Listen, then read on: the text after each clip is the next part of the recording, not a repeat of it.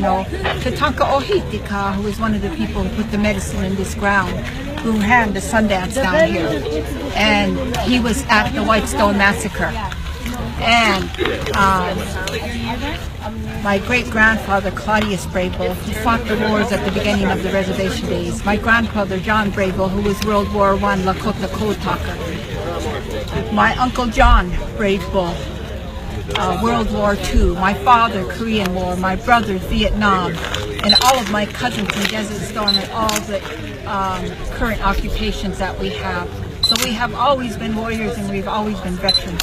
So I'm honored for each veteran that has come to stand with us, to come help defend, to come help clean, and to come help heal with this land.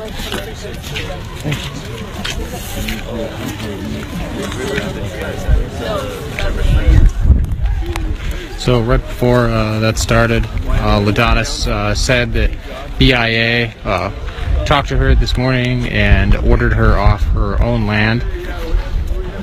Uh, you heard that right. Uh, BIA met with LaDonna and told her that she was getting an eviction notice to leave her own land along with the other people at camp. So stunning to hear. But once again, the government telling Native people to leave their land. It's shameful. Send your prayers. Send your. Okay. Ready? Yep. Okay, the, the whole part about the land being held in common means that nobody owns a particular spot on this land. They all own the whole mass as a whole.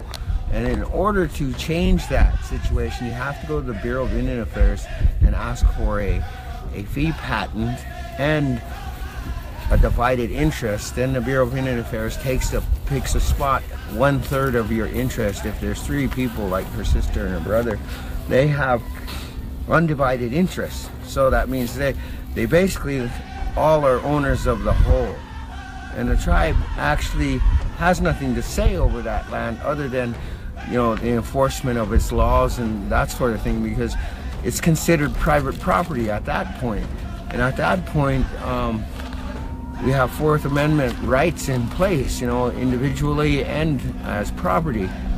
And the tribe seems to think that they have the authority to just usurp those rights from people by ordering people out who this this camp Sacred Stone is a 501c3 federally recognized nonprofit organization. That would be like telling the Red Cross to get up and leave. People, white people, black people, anybody can come and go. The Supreme Court has established that rule too, that everybody has the right to pass and repass undaunted by arbitrary statutes that chill the assertion of constitutional rights to pass and repass as a citizen interstate. So the tribe, I mean, the, the whole order is just a facade. It's, it's a blank uh, threat trying to get people out of here because everybody's salivating for this uh, pipeline money. And that's what it appears.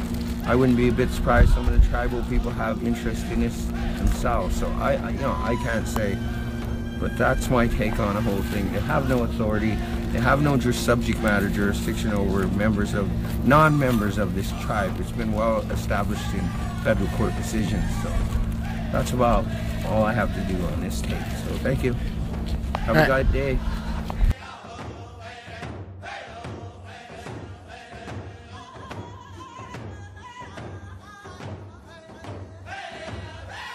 The governor orders an immediate evacuation, which this governor did, Governor Burgum, that is the same thing that his predecessor did, Governor Dalrymple. He also ordered an immediate evacuation, but he doesn't have the authority to come with the force of law and under the color of law and of state authority to come and physically evacuate the site.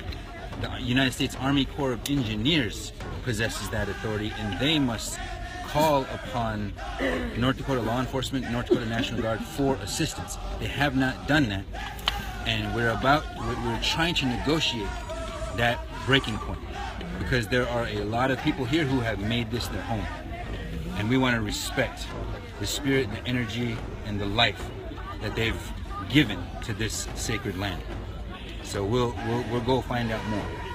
Chase, last question. You also just uh, mentioned that water. So of their ancestors, without which we wouldn't even have a modicum of any self-government authority or any dignity for that matter. the Six Nations is right Uh, the Standing Rock Nation, Cheyenne River Sioux Tribe, uh, the Oglala Lakota Nation, the Sichangu people, the Rosebud Sioux Tribe, Lower Brule Sioux Tribe, and the Yankton Sioux Tribe. Not that's to say nothing of the of the Northern Cheyenne and the Northern Arapaho who who also signed the treaty. But those six Sioux nations, if we can call them that, they are descendants of the signatories of the 1868 treaty that are